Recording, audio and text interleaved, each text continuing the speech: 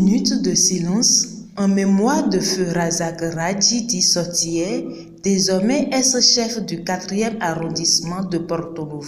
C'est après cet hommage qu'a démarré ce lundi 9 septembre à la salle de délibération de la mairie de Porto Novo la quatrième session extraordinaire du conseil municipal au titre de l'année 2024. Après présentation et validation du collectif budgétaire exercice 2024, de même que l'adoption de la communication relative à l'autorisation de la participation d'une délégation de la ville de Porto Novo aux rencontres, réunions et échanges d'expertise sur le tourisme, les arts et l'organisation des festivals artistiques et culturels à Cergy-Pontoise et à la métropole de Lyon du 16 au 23 septembre, le conseil municipal a par la suite procédé à la désignation du chef du 4e arrondissement par intérim par vote. Et c'est donc aussi Antoine Avosetier, conseiller du parti Bloc républicain,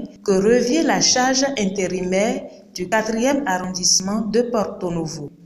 Vraiment, je suis un peu mélangé et de tristesse et un peu de, joie.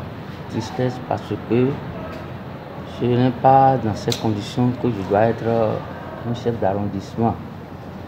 Ce n'est pas, pas le décès du, chef du quatrième arrondissement, je dois le remplacer. ce n'est pas de, de, de, de, cœur. Bon, deuxième chose, c'est que je suis un peu en joie la joie, c'est par rapport au comportement de tout le conseil municipal. Il s'agissait, l'UPR pouvait désigner en notre sein. Ils ont fait des considérations qui les ont amenés à me désigner comme intérimaire. Donc je crois que nous allons prier beaucoup parce que ça fait déjà quatre personnes décédées au sein de ce conseil.